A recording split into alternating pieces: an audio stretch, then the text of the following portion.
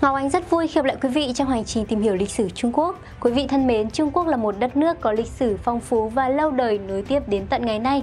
Đặc biệt ở quốc gia này còn tồn tại rất nhiều bí ẩn phong thủy mà đến nay vẫn chưa tìm thấy câu trả lời, mặc dù được các giới chuyên gia nghiên cứu không ngừng. Bởi theo người dân, những bí ẩn gây giận đó đã bị chính quyền Trung Quốc giấu kín suốt mấy nghìn năm. Trong video ngày hôm nay, xin mời các bạn hãy cùng điểm lại những bí mật rùng rợn ở đất nước Trung Hoa rộng lớn chưa có lời giải ngay sau đây nhé.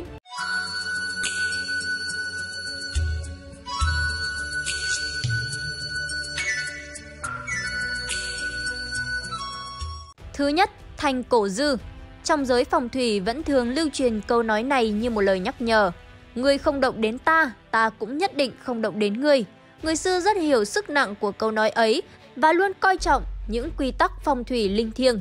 Tương truyền, khi vua Càn Long muốn xây dựng một khu vườn lớn ở nơi có phong cảnh tuyệt đẹp của thành Bắc Kinh, có người nói với ông rằng bên dưới chân núi Vạn Thọ có ngôi mộ cổ không thể động tới, là nơi an táng một vị vương phi đời nhà Minh.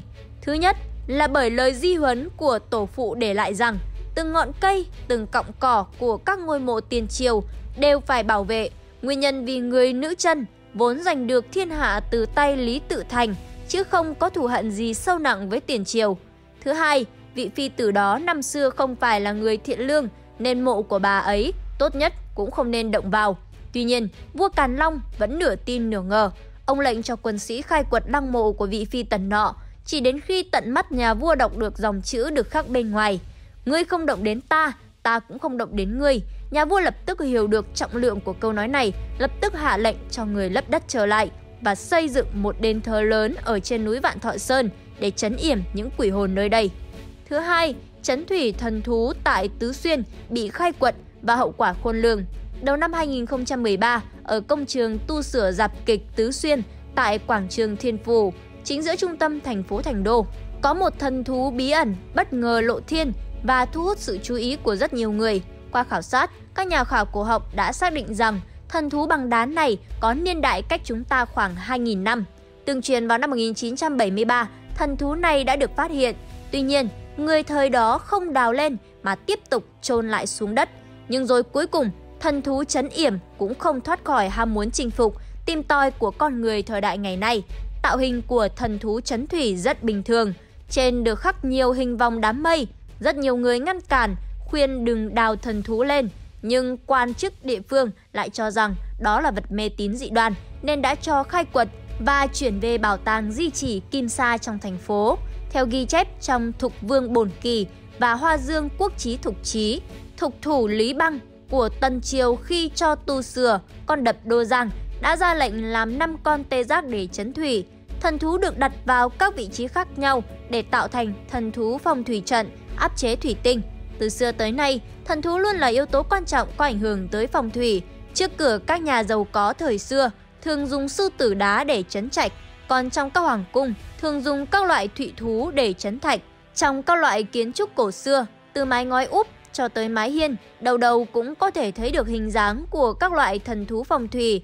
Vậy một khi đào các loại thần thú đó lên rồi, chuyện gì sẽ xảy ra? Ngày 8 tháng 7 năm 2013, mưa lớn liên tục khiến thành đô ngập chìm trong biển nước. Theo báo cáo từ chính quyền Tứ Xuyên, trận lụt đã khiến 907.000 người gặp nạn. Ngày 10 tháng 7, đập Đô Giang sụp đổ, gây sạt lở đất nghiêm trọng. Ba cây cầu lớn ở quốc lộ số 3 bị chìm trong biển nước. Theo thống kê, có 62.000 người phải sơ tán đến nơi an toàn, hơn 400 căn hộ bị sập hoàn toàn và 68.000 ngôi nhà bị hư hỏng. Trên 42.000 hecta đất canh tác cùng hoa màu và nông sản bị thiệt hại nặng nề. Thiệt hại kinh tế ước tính lên đến 3 tỷ 350 triệu nhân dân tệ. Mọi người đều tin rằng đó chính là do việc chính quyền thành phố khai quật chấn thủy thần thú ra khỏi thần thú phòng thủy trận nên mới phải hứng chịu hậu quả nặng nề như vậy. Thứ ba, Cửu Long trụ dưới đường cao tốc trên cao ở Thượng Hải các quan chức tỉnh Tứ Xuyên cả gan dám đào thần thú trong phong thủy trận, còn người Thượng Hải lại xây Cửu Long trụ có 102 của đường cao tốc trên cao. Đại đa số người dân Thượng Hải và những người lái xe taxi đều biết rằng Cửu Long trụ này chính là vật chống đỡ quan trọng nhất của Thượng Hải và là nút giao của đường cao tốc trên cao nối phía Đông Tây và Nam Bắc. Những năm 90, thành phố Thượng Hải bắt đầu thực hiện công trình cầu vượt trên cao. Vào năm 1999, khi cho khoan cột trụ ở nút giao đường trên cao nối phía Đông Tây và Nam Bắc, người ta đã không cách nào khoan sâu xuống được. Nếu xét về địa chất, Thượng Hải nằm ở Bình Nguyên, được tích tụ tại ngã ba sông Trường Giang. Đây vốn không phải là địa tầng phức tạp, nhưng bằng các kỹ thuật tiên tiến và máy móc hiện đại vẫn không thể khoan được cọc trụ tại vị trí này. Công trình tạm thời bị dừng lại. Có người nói phải chăng đã liên quan đến vấn đề long mạch và cần phải mời thầy phong thủy về xem. Ý kiến này lập tức bị các chuyên gia kỹ thuật phản đối.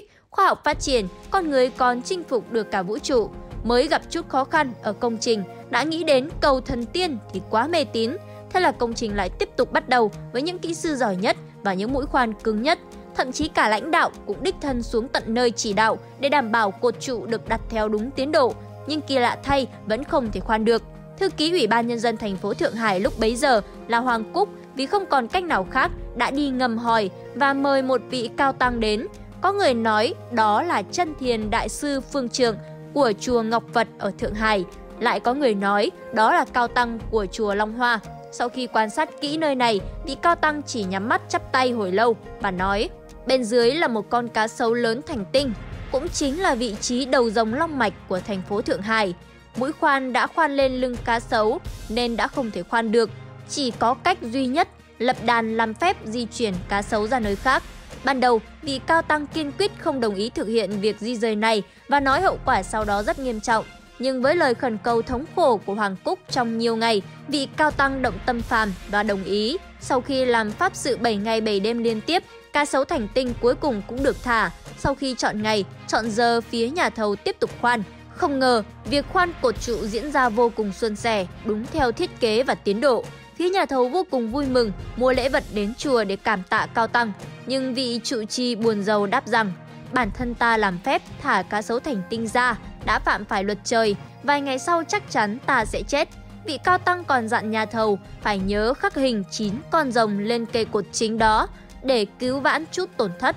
Quả nhiên, mấy hôm sau, vị cao tăng viên tịch. Quý vị thân mến, câu chuyện cửu long trụ dưới đường cao tốc trên cao được lưu truyền từ rất lâu và rộng rãi ở Thượng Hải bởi có những điều khó giải thích được rằng vì sao có một cây cột trụ đơn giản mà phải huy động đến ngàn trăm, hàng trăm kỹ sư tập trung tại đây. Hơn nữa, giữa toàn bộ công trình bằng xi măng, tại sao có một cây cột trụ nối đoạn giao Nam Bắc với Đông Tây của đường vượt trên cao lại có hoa văn rồng bằng kim loại? Và cho đến nay, những câu hỏi đó vẫn chưa có lời giải. Và ngoài những bí ẩn trên thì đất nước này còn tồn tại những bí ẩn rùng rợn sau đây. Thứ tư, miếu nương nương ở đỉnh phía bắc của điều Sào. Bên cạnh điều Sào có ngôi miếu nương nương rất lớn. Đây là địa chỉ văn vật được thành phố Bắc Kinh xếp hạng cần phải bảo tồn. Trước đây, khi khởi công xây dựng Thủy Lập Vương, trung tâm bơi lội quốc gia, người ta đã cho dỡ bỏ miếu cũ được xây dựng từ triều Minh – vào 3 giờ chiều ngày 27 tháng 8 năm 2004, sau khi mấy công nhân dỡ hai trái của đỉnh Bắc Miếu, thì bỗng dưng gần điều sau xuất hiện một trận lốc xoáy lớn bất ngờ. Theo báo cáo của Bắc Kinh kỷ sự, một trận gió lốc đen quẩn trên không bao trùm toàn bộ công trình Thủy Lập Phương. Cơn lốc cao khoảng 7 đến 8 mét với vòng tròn đường kính khoảng 3 đến 4 mét. Cơn lốc quét qua cuốn theo rất nhiều cát, sắt lá, lá tôn ở công trình lên cao mười mấy mét trên không trung. Chỉ trong phút chốc, cơn lốc đã san phẳng hoàn toàn các công trình hiện có tại công trường. Ngoài ra còn khiến 44 người bị thương và hai người bị chết. Khi toàn bộ các công trình đang được xây dựng đều bị san phẳng trong cơn lốc xoáy, thì có một điều vô cùng bất ngờ là những vị trí ở bắc đỉnh miếu nương nương mà cơn lốc đi qua lại không hề bị thiệt hại gì. Điều này khiến mọi người vừa cảm thấy khó hiểu vừa kinh hãi. Tuy nhiên công trình vẫn tiếp tục được tiến hành theo kế hoạch. Ngày hôm sau, một chuyện ly kỳ khác tiếp tục xảy ra Tại hiện trường thi công Thủy Lập Phương, người ta đào thấy một cái hố rất lớn. Vài công nhân hiếu kỳ đã âm thầm chui vào thám thính, phát hiện ra bên trong toàn là rắn đang sống. Công trình được lệnh ngừng thi công, bỗng dừng khu vực điều sao và Thủy Lập Phương mất điện không rõ nguyên nhân. Trong đêm tối, mọi người nhìn về phía miếu nương nương vẫn thấy sáng trưng như đang có điện, mà trên thực tế ở đây không hề có điện. Ngay đêm hôm đó, chỉ huy công trình đã cho triệu tập mọi người cùng nghiên cứu, còn mời cả chuyên gia phòng thủy cuối cùng đưa ra quyết định phải giữ lại miếu nương nương của Minh Triều, đồng thời khôi phục lại nguyên mẫu. Công trình đã buộc phải di rời về phía bắc 100m để trả lại đất cho miếu nương nương. Sau khi xây lại miếu, công trình thi công rất thuận lợi, suôn sẻ. Thứ năm, đổi tuyến tàu điện ngầm số 5 ở Bắc Kinh. Theo truyền thuyết, ở Bắc Kinh, cầu Bắc Tân có một cái giếng tên là Tỏa Long. Đáy giếng có một hải nhãn, tức là đôi mắt của biển cả. cả vùng đất có một cái lỗ giống như một miệng giếng, không đo được mực nước sâu hay nông. Không những vậy, tiếng nước trong giếng còn chảy róc rách. Tương truyền là cái giếng này thông tới đáy biển, đây chính là con mắt từ biển cả được đưa tới đất liền. Truyền thuyết kể rằng Lão Long Vương muốn nhấn chìm thành Bắc Kinh nên bị Lưu Bá Ôn giáng phục dùng xích sắt khóa tại cửa giếng. Lưu Bá Ôn để lại lời rằng đợi cây cầu cũ gãy thì sẽ thả Long Vương ra. Mọi người đã không sửa lại cầu mà chỉ xây ngôi miếu nhạc vương lên trên miệng giếng và đặt tên nơi đây là Bắc Tân Kiều. Cũng chính vì thế, cây cầu này không thể cũ được, cho nên Lão Long Vương mãi mãi bị nhốt ở đây. Truyền thuyết cũng kể rằng không ai được phép động vào sợi xích sắt ở đây, nếu không Bắc Kinh sẽ bị ngập. Nghe nói trong chiến tranh Trung Nhật, quân Nhật từng bắt người dân đến kéo cái xích ở trong giếng, nhưng kéo mãi không thấy hết, chỉ thấy nước đen ngòm, đun từ giếng lên đầy mùi hôi thối. Quân Nhật sợ quá, vội vàng thả dây xích lại rồi cho đậy kín giếng, không dám động đến.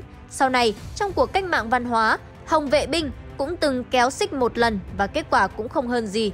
Vị trí của giếng này vốn gần với tuyến đường tàu điện ngầm số 5. Khi tu sửa tuyến tàu điện ngầm này, Bắc Kinh từng ra lệnh cần phải nắn chỉnh đường dây để tránh xa vị trí giếng cổ bởi từng nghe chuyện về lính Nhật và Hồng vệ binh động vào giếng cổ nên chính quyền Bắc Kinh đã không dám mạo phạm. Quý vị thân mến, trên đây là những bí ẩn kinh hoàng ở đất nước Trung Quốc. Càng khám phá, chúng ta lại càng thấy có những điều thật khó lý giải. Quý vị nghĩ sao về những bí ẩn này? Hãy để lại bình luận cho chúng tôi cùng biết nhé. Cảm ơn quý vị đã quan tâm theo dõi. Xin kính chào và hẹn gặp lại.